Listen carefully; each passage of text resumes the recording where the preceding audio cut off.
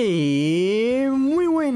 soy Cronos y el día de hoy les voy a dar varias noticias en uno, las cuales tratarán de que ya se puede jugar a dos juegos en PlayStation, los cuales van a ser por tiempo limitado. Y aparte un juego que va a ser gratis y para siempre que muchos han estado esperando. Y bueno, comenzaré hablándoles sobre Dragon Ball The Breakers, un juego que ya les había mencionado en el canal, el cual incluía la misma jugabilidad en cuanto a Dead by Daylight, ya que contaba con 7 jugadores supervivientes y un enemigo, el cual sería uno icónico del anime, tales como Cell, Majin Buu y Freezer, en un campo de batalla donde los jugadores tenían que ir completando misiones con tal de conseguir una máquina del tiempo y hacerla despegar para ganar la partida, y el enemigo pues tenía que evitar esto y destruirla. Y ya la noticia es que si ya lo tenían descargado pues inicienlo porque a partir de hoy se podrá jugar que es el jueves 22 de septiembre hasta el domingo 25 de septiembre. Y acá lo bueno y es que al día siguiente que es el lunes 26 de septiembre fue anunciado el lanzamiento de un juego gratis y para siempre, que corresponde al llamado Century Age of Age, y sí, por fin después de varios retrasos lo podremos jugar en nuestra PlayStation 4. Y yo creo que todos conocen este juego de todas las veces que se los he mencionado, pero si no, solo deben saber que es un juego de batallas aéreas de 3 contra 3 o 6 contra 6, en donde podrás personalizar a tu propio dragón, y o escoger la clase de este mismo, y cada uno tendría una habilidad única